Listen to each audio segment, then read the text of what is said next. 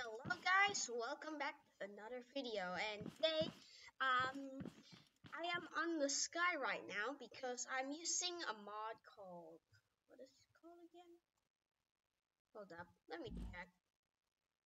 Check where is that mod? It's the mod it's a mod that uses um the utility of hot that makes hot that enables you to make hot air balloons and utility helium balloons. Where is it? Is it? Or is it here? Oh yeah, helium. Yeah, the mod is called helium, and and so that's why we can create a helium balloon that allows us to float. But right now we're going to use the helium mod for warfare purposes. So if I myself um that's not useful but anyways if we spy here there is a very tiny model I think it needs to be turned back on again.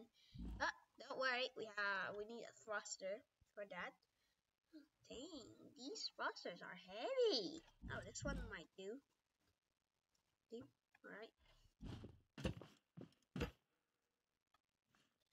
Right, um, if you don't know, my inventory is a mess because there are lots of things I've been doing.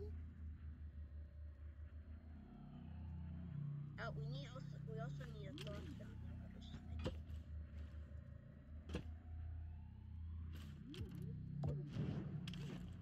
There we go. If you don't know, I basically spawn three of my very own hot air balloons and then I just weld them together. Yeah. Alright, we're getting closer.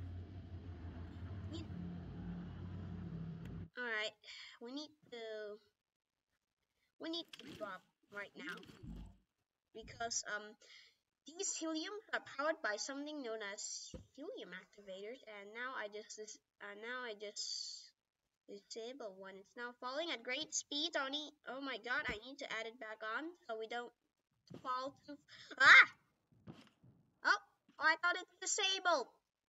It's back on. Oh, that's the wrong way. I need to go this way. Up. Oh. Okay, so the enemy we're dealing with right now is a flak enemy that um, uses, um, I don't know, airburst flaks, what you call it.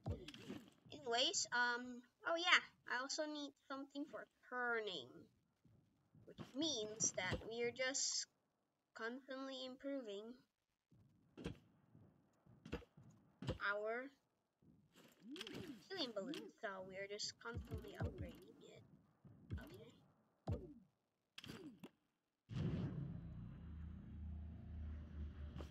Alright, if I oh that's a bit excessive.